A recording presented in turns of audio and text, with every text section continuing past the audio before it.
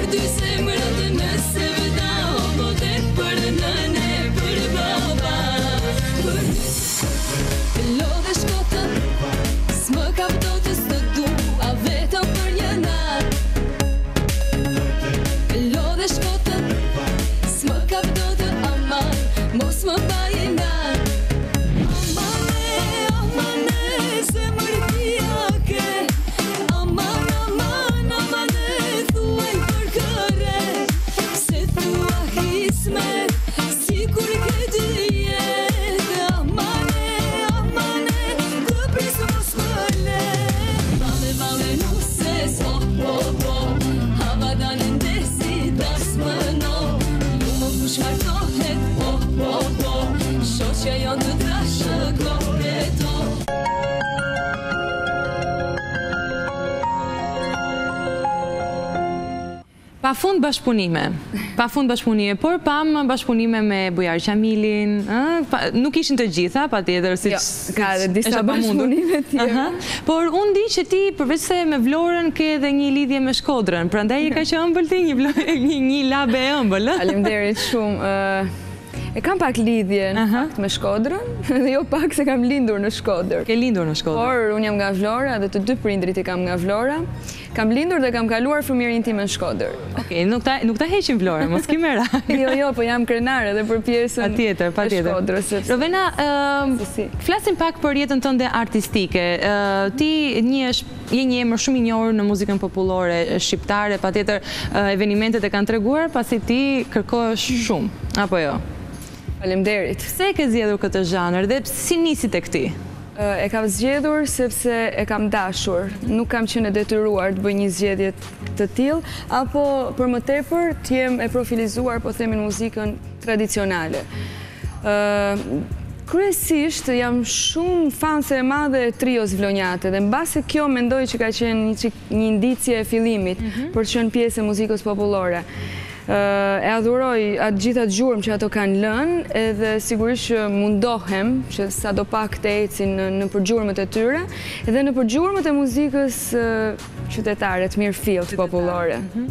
Po kush, ka, kush të ka mbështetur për t'u futur në muzikë? Si ka lindur? Shiko, muzika ka ecur bashkë me mua që në moshën 8 vjeçare. Mhm. Domethënë që me, me festivalet e fëmijëve në Shkodër, Për fat të mirë, aty organizoheshin festivalet mbarëkombëtare, kështu që nga shkolla pastaj shkuam tek festivali mbarëkombëtar për katër vite, pastaj liceu artistik për kanto, emërimi në teatrin Petro Marko dhe domethënë nuk është se jam ndarë ose ka dashur, më është dashur që të kem një shtysë në një moment të caktuar për ta bërë këtë gjë. Ndalemi pak tek teatri, në fakt Po e mendoja sepse ti je pjesë e teatrit në Vlorë. Po. Çfarë roli ke aty? Këngëtare. Je këngëtare në trupin e varietesë. Pra varieteja vazhdon në Vlorë. Po, absolutisht. Si e sheh këtë gjë? Patjetër ti je një artiste, si këngëtare, nuk e di, ku e sheh më mirë veten? Në cilin në cilin hapësirë? Shiko, unë këngëtare jam edhe aty, por të qenit pjesë e një trupe profesioniste, do s'do të të çon në disa ujëra që ti duhet të jesh shumë e përgjegjshme për çdo gjë, për çdo dalje. Domethënë po themi në qoftë se nuk është njësoj ta marrësh dhe të këndosh një këngë popullore natyrshëm në një ambient ku ti je ftuar, dhe nuk është njësoj ta këndosh në teatër, sepse detyrimisht kalon në ca filtra. Mhm, mhm. Kështu që kjo pjesë më ka bërë që të jem shumë e përgjegjshme. E vërtetë. Për sa i përket bashkëpunimeve që po flisnim që pak, numëron shumë këngë, shumë videoklipe, kanë ardhur ftesat, ftesa ka ardhur nga ata apo ke qenë ti? Kanë ardhur natyrshëm, kanë ardhur shumë natyrshëm. Për shembull, nisem nga kënga që pa me Bujar Qamilin, ka ardhur aq natyrshëm sa as vetë s'e mendonim dhe realisht dhe kënga është bërë po në këtë formë, shumë shpejt. Duke qenë se neve jemi shpesh herë të ftuar, kryesisht në Itali, na ftojnë bashkë, sepse mundohen që të gjithmonë të kombinojnë një këngëtar të veriut me një të jugut, ose një të Shqipërisë së mesme me një të jugut. Që të kënaqen të gjithë. Historikisht, unë shkoja edhe ishin në fakt shumë koncerte radhazi me Bujarin. Edhe arritëm në një pikë thamë, Pse s'e bëjmë dhe një këngë bashkë, kështu që ka ardhur shumë natyrshëm. Folëm me Adrian Hilën, e mirëpriti shumë si ide dhe ka ardhur aq shpejt dhe mund të them që ka qenë kënga që është bërë në një kohë rekord. Mhm. Pra bashkëpunëtori yt, le të themi prej vitesh është Adrian Hila. Po, po, është prej shumë vitesh edhe mendoj që është i vetmi, sepse ndihem shumë mirë edhe mendoj që është një artist që mhm. nuk ka arsye pse të mos bashkëpunosh. Rovena nga Vlora kanë dalë shumë zëra që sot janë le të themi nga më të mirët. Ke kontakte, ke miqësi, nuk e di, cilin do veçoje më shumë? Patjetër që po. Shiko, unë nuk mund të veçoj sepse mendoj që secila nga ne ofrojmë diçka të veçantë, në një mozaik që të gjithë jemi bashkë për të njëjtin qëllim. Përveç kësaj, ne jemi rritur bashkë, domethënë një pjesë e mire e jona njiheshim që më përpara. Kështu që detyrimisht ka ardhur shumë natyrshëm, çdo lloj komunikimi bashkë. Me kë ke miqësi më shumë? Me të gjitha njësoj, me të gjitha njësoj. Dhe shumë e sinqertë kjo. Nuk është që mund të dalloj dikë, ose mund të lë dikë më në Përveç evenimenteve, le të themi dasmat apo gëzime familjare që mund t'i quajmë, ti ke marrë pjesë dhe më lejo ta lexojmë sepse është një çmim shumë shumë i rëndësishëm, Zambaku i Argjendtë në Festivalin Zambaku i Prizrenit. Tani, si ishte kjo pjesëmarrja? Evi, unë të falenderoj shumë njëherë që e sjell në kujtesë këtë gjë, sepse me gjithë mend që është një, një nga pikat më të bukura të gjithë jetës time artistike deri tani. Ka ardhur shumë natyrshëm, nuk ishte një këngë që u krijua për një qëllim të caktuar. Zemra në lak është një këngë që u bën atë kohë për një produksion që televizioni Klan, nëse më lejohet ta them, bënte në atë periudhë. Nga aty, në atë periudhë ka qenë dhe Zambaku i Prizrenit që filloi që të merrte këngët e para, po themi apo krijimet e para. Çojmë këngën. Absolutisht, dhe kjo është shumë e sinqertë që as nuk e mendoja që mund të merrja unë çmimin e parë, për të vetmin fakt që thashë, ok, vij nga Vlora, janë gjithë këngëtarë të gjitha trevave shqiptare, domethënë nga Maqedonia, nga Mali i Zi, nga Kosova, Shqipëria. Edhe e nisa kështu, thashë, është një pjesëmarrje e re, mirë është. Dhe kur e kam gjendur veten në fund me çmimin e parë, kam parë kështu sepse realisht nuk e besoja. Çfarë beson që të veçoi në atë festival? Ishte një krijim shumë i bukur ai. Ishte një krijim shumë i bukur edhe u vlerësua, realisht u vlerësua shumë.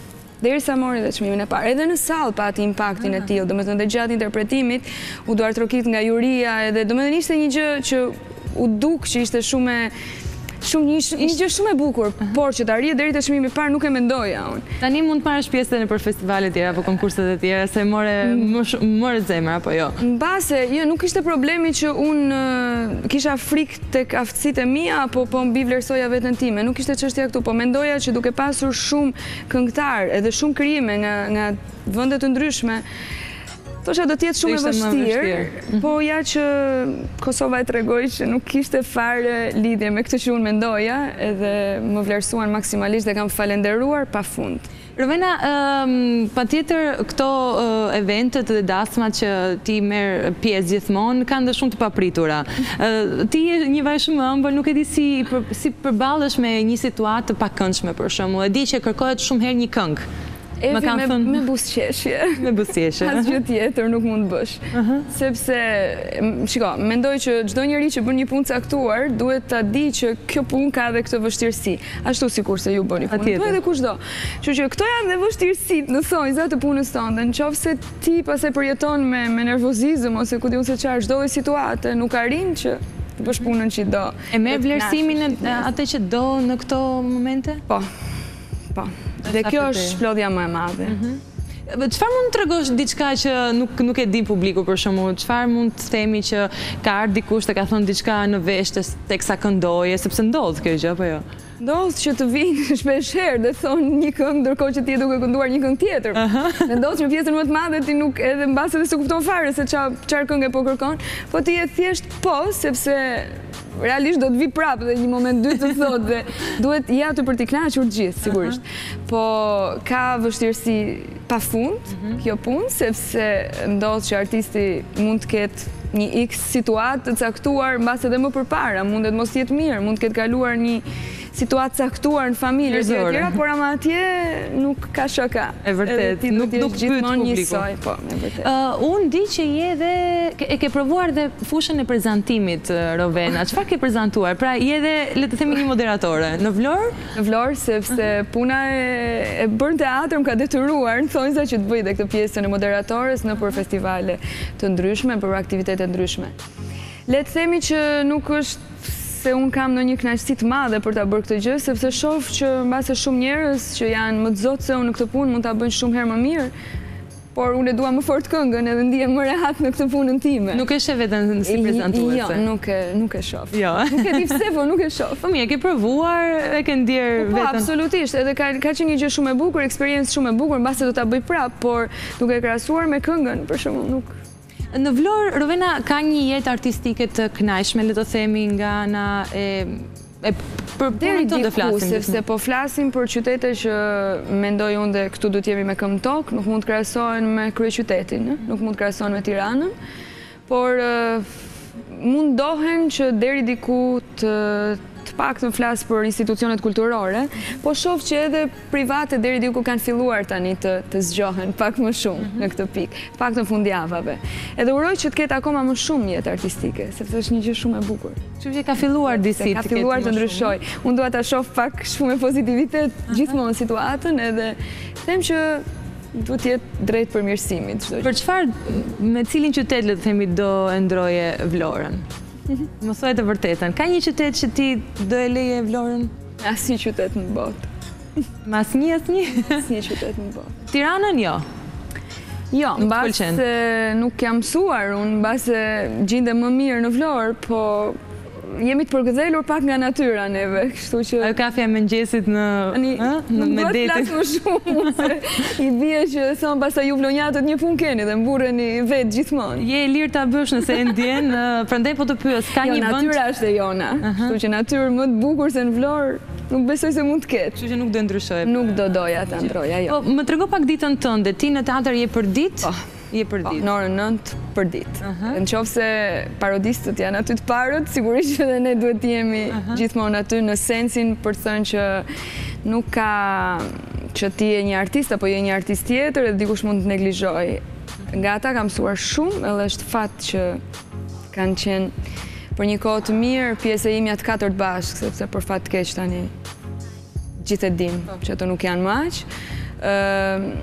Puna me ta më ka dhënë një lloj stimuli shumë të mirë për për të qenit korrekt në punën e teatrit edhe në çdo lloj pune tjetër. Ata janë të parët që vijnë Evi edhe të fundit që ikin. Do të thotë që edhe pse ato kanë atë emër edhe janë ata që janë, nuk neglizhojnë asnjëherë asnjë ditë. Puna është gjithmonë punë për ata. Çfarë të kanë mësuar? Cila është ajo vlerë artistike apo jetësore që ti ke marrë prej tyre? Që e para që duhet t'i kalosh gjërat në shumë filtra përpara se të përballesh në mënyrë që ti të jesh vetë e sigurt në atë që bën dhe e dyta që vetëm me punë mund t'ia dalësh dhe kam kështu gjithmonë si vëth në vesh, Afrim Agalliu më ka thënë gjithmonë këtë, Robi, vetëm me punë ia del që të jesh gjithmonë atë gjë që do të bësh. Nuk ka asnjë lloj mënyre tjetër. Punë, punë, punë. E di atë gjë. Asnjë mënyrë tjetër. Qoftë se dikush mund të rrijë duke folur ose duke bërë teorira, them unë, nuk del dot në asnjë lloj gjëje. Nuk të çon gjëkundi. Dhe ti e ke zbatuar? Po them që po. Do me thënë jam e fokusuar në në punën time, mundohem që gjithmonë jam shumë e shoh veten gjithmonë me syrin kritik. Çdo gjë që bëj nuk më kënaq, po dua që gjithmonë të të arrij të bëj diçka më të bukur se ç'kam bërë. Nuk kënaqem asnjëherë. Rovena, nuk e di sa njerëz ke martuar ti? I ke numëruar ndonjëherë? Jo. Nuk e di sa qifte? Po, pafund. Po, veten tënde? Unë e di që ti je... Mua më kanë martuar. Ty të kanë martuar. Ty kush të ka martuar? Kë këngëtarë ke pas? Kishte këngëtarë, në fakt, shumë. Ka qenë Maja, një mike shumë e mirë imja. Ka qenë Petrit Lulo, kanë qenë grupi... I mrekullueshëm, grupi Ali Pasha, kanë qenë muzikantë të Vlorës, Artur Zamo, kanë qenë artistë të tjerë, parodistët, nuk e di, domethënë ka pasur aq shumë, edhe një moment mbaj mend vetëm Fredi i grupit Ali Pasha tha, përveç se ishim të gjithë me dëshirën e mirë për të bërë diçka të bukur, Një moment ishin të shtatë mikrofonat hapur, domethënë nuk po nuk po kuptonin më kush po këndonte, dhe një moment kishte arritur dhe DJ-i po këndonte me mikrofon. Kaq shumë po këndojnë në dasmën tënde. Me aq me aq dëshirë donin për ta bërë gjënë të bukur të gjithë. Shumë e bukur, do të ishte një kujtim pafund. I bukur. Nuk e di, bashkëshorti merret me muzikë Rovena? Jo, nuk ka lidhje fare me fushën e muzikës. Po të mbështet Patjetër. Më mbështet, tani kemi gati pesëmbëdhjetë vite që jemi bashkë, kështu që mendoj që o e kemi kuptuar njëri-tjetrin deri tani, o Të shoqëron apo shkon vetë? Jo, nuk më shoqëron, jo. Shumë rrallë mund të vijë të më shoqërojë, vetëm në rastet kur jemi jashtë edhe unë duhet të rri dy-tre ditë më shumë për kënaqësi me bashkëshortin tim, por jo, nuk është pjesë e dasmave, koncerteve, gjërave. Përzgjedhje apo nuk ke dashur ti?